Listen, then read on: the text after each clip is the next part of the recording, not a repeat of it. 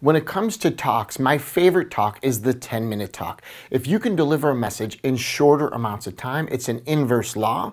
You can actually get invited to speak at more places. Now, I've had my critics when I teach this material and how to do a 10 minute talk. But you see, I'm in practice. I use 10 minute talks for my practice and have done so for almost 15 years.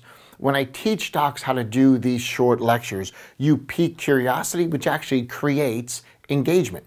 What you're not there to do is educate. What you're not there to do is raise awareness.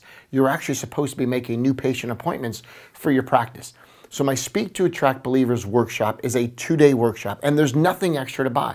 I'll give you an example of a 10-minute talk. I'll give you an example of a traditional lunch and learn and the corresponding PowerPoint at no added fee. Most importantly, you're gonna leave being able to generate new patients for your practice. Whether it's a traditional lunch and learn or a 10-minute talk, both are taught at Speak to Attract Believers.